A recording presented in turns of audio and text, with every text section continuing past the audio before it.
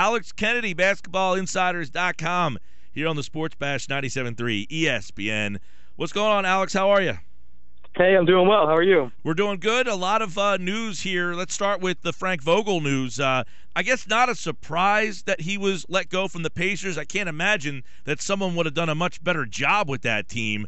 Uh, but w- were you surprised, and do, will you be surprised if he is not scooped up this offseason?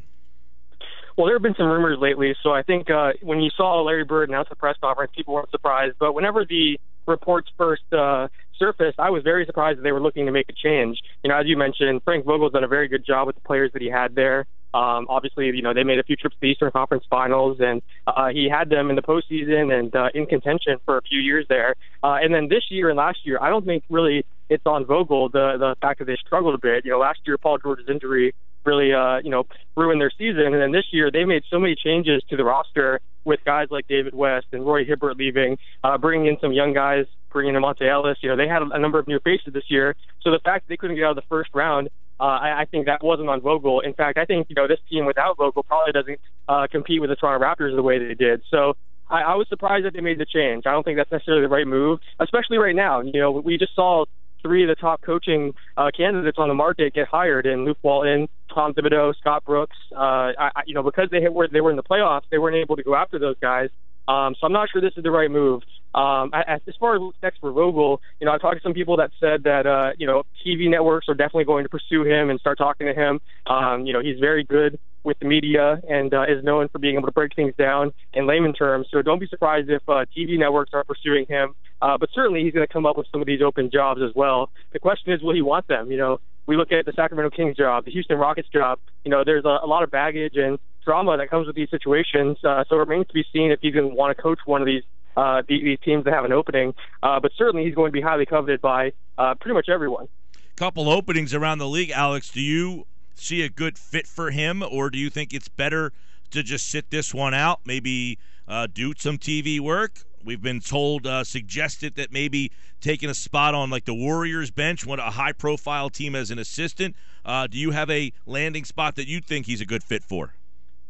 If I'm him, I'm probably doing a TV route. Um, I think that's a good way to kind of get yourself some exposure and uh, and I think it, lets him wait till some of these other jobs open up. Uh, if I had to choose one current job from right now, it probably would be the Houston job. I think when you look at Vogel, his strength is his defense and his ability to bring a team together. So when you look at Houston, the fact that you know there are a number of defenders on that team that uh, are pretty good, but I, I think he'd be really good at getting the most out of James Harden. Um, I think he could help them develop a winning culture. But again, you know, there's a lot of drama there. People are unsure about what's going to happen with Dwight Howard. It seems very likely that he leaves people are unsure about the future of Daryl Morey there. Uh, there's a lot of questions surrounding the Rockets right now. So um, I think that's probably the most attractive job available right now. But if I'm him, I'm probably doing a TV route for a year, uh, making some good money, uh, spending some time with people close to me, and not having to travel uh, as frequently as NBA head coaches do. And then next year, when more jobs open up, that's when you can start looking and uh, and try to get one of those jobs.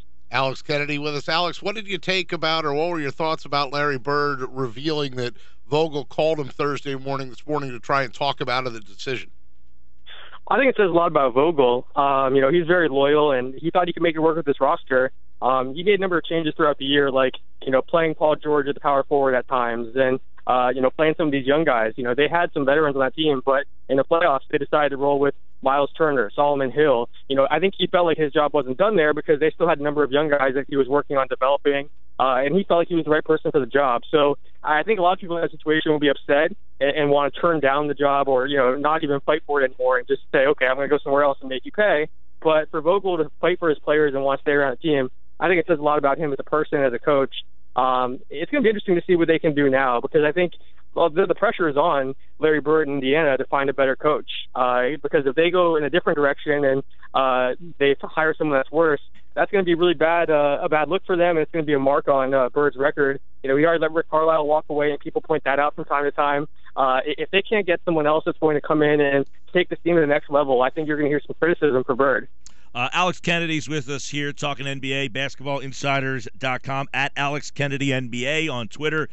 Alex, the Sixers, couple deals today. Uh, Ned Cohen, the NBA Associate VP of Basketball Operations, and the former Wizards VP of Scouting, Marc Eversley, uh, they are now in the front office, and they are getting some high marks around basketball for these hires. What do you know about these guys, and uh, do you think the Sixers did well in bringing these guys into their organization? Yeah, I like these moves a lot. Um, you know, these aren't the, the splashy moves that people talk about a whole lot. Uh, they're not like GM or head coaching hires. I think these are the kind of moves you have to make in order to build a winning culture and uh, you know have really good people in the front office. You always want uh, talented uh, people around your GM and your coach, and uh, it's really important to have these guys in the franchise. So I, I think it makes a lot of sense for them. Eversley is someone that's been talked about as a future GM.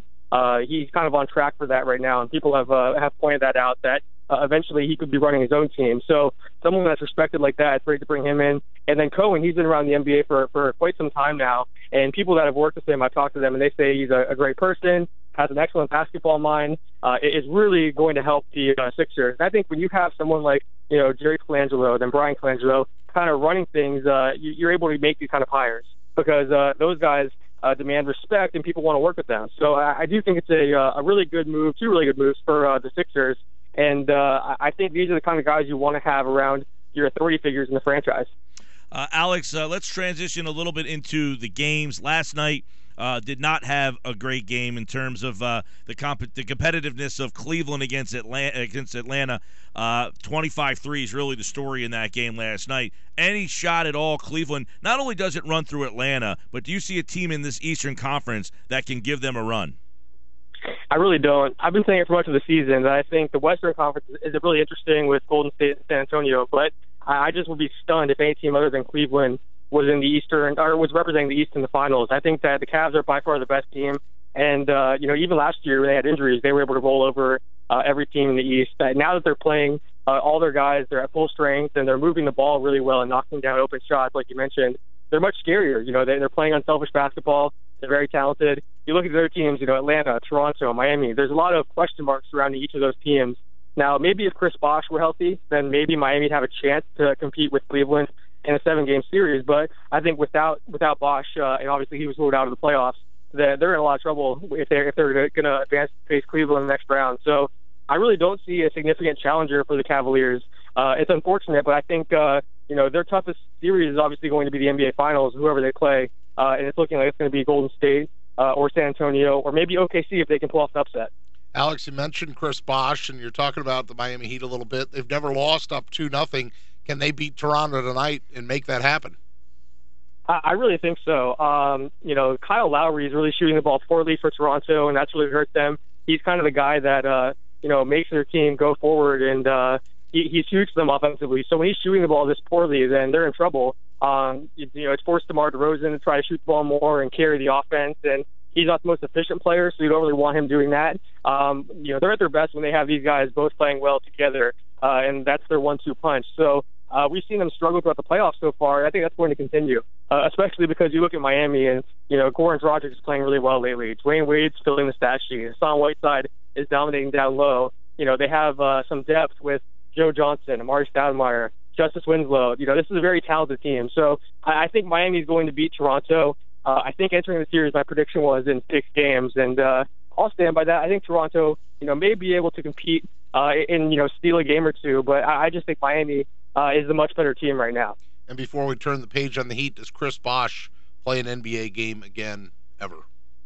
Honestly, I don't know, and that's really unfortunate. Uh, I, I wish I could tell you yes, but um, it's a scary situation. Um, you know, I've actually had uh, two pulmonary embolisms, so I've been in Chris Bosh's situation to some yeah. extent, and it's a really scary thing. You know, you go through it, and uh, each one is different. I think that's why you're having Chris Bosh right now, you know, push against the Heat and, and try to play uh, because he had the first uh, blood clot, and, and basically he was in tons of pain, couldn't do anything. With this one, he's had no pain, so he's wondering, okay, I feel fine. Why can't I go play and uh, get on the court? Uh, that's kind of been the, uh, com- the confusion there. Uh, but I, I think Miami is trying to protect him from himself. They know this is very serious. Uh, when you're on a blood thinning medication, you can't go out there and risk taking an elbow or getting cut uh, because then you, you could die. Uh, it's, it's life or death. So I think that's why you have Miami being really careful here. Yeah, and he will not play, obviously, uh, uh, the rest of this season. They announced that yesterday. Uh, talk with Alex Kennedy, basketballinsiders.com. San Antonio, Oklahoma City tomorrow night. Uh, I was pretty, you know, the end of that game, say what you will, San Antonio had the ball at the end with a chance to win it at home, and they were very helter skelter. It's now they got to go on the road. How imperative is this game tomorrow night for Oklahoma City? It's really huge. Uh, I think they can take the momentum here if they're able to uh, to get a win. But I think San Antonio is the better team. Um, obviously, game one they dominated. As you said, last game uh, they had a chance. But I think the big difference in this series is Gregg, uh, Gregg Popovich uh, making adjustments game to game versus Billy Donovan. Uh, Popovich is obviously, you know, arguably the best NBA coach of all time, and he's terrific at making adjustments and uh, you know moving his players around and getting the most out of each guy. So uh, I think the Spurs probably have the big advantage there. But uh, when you talk about just one-on-one scoring and the star power, um, you know, obviously San Antonio's best player has been uh, Kawhi Leonard and Marcus Aldridge, but it's real tough to uh, to guard guys like Kevin Durant and Russell Westbrook. So I think that's what's kind of keeping uh, OKC in the series right now. Um, and I think if they want to have any chance at uh, you know pulling away and uh, being able to advance here, uh, this next game is very important for them.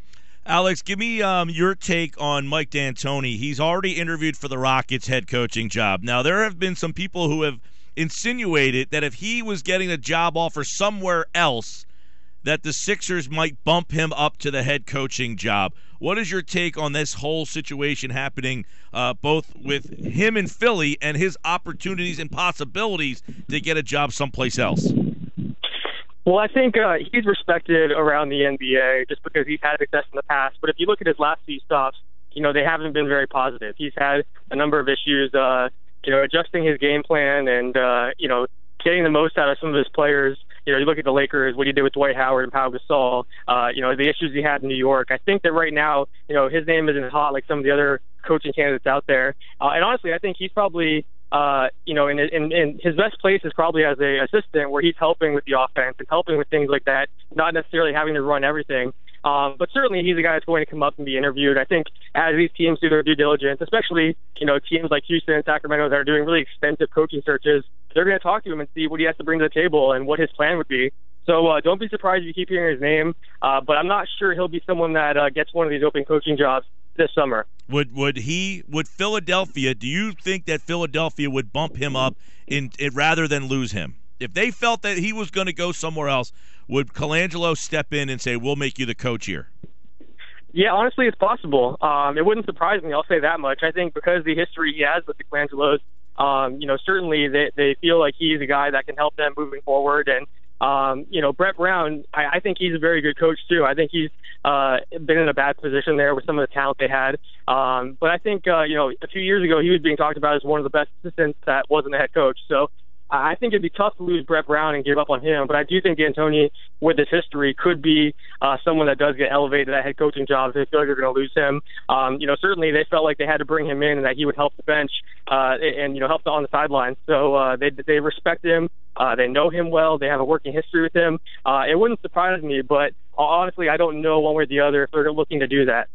Uh, Alex Kennedy, basketball insiders at Alex Kennedy NBA. The NBA playoffs this weekend on 97.3 ESPN continues tonight with uh, just one game on the docket. That's Miami and Toronto. Then a pair of games tomorrow, Cleveland and Atlanta. I think Golden State and uh, Portland just took themselves off the schedule. They've had a little bit of a break here, which obviously helps out uh, Golden State here. But uh, Alex, always a pleasure to catch up, pal. Thanks a lot. Take care.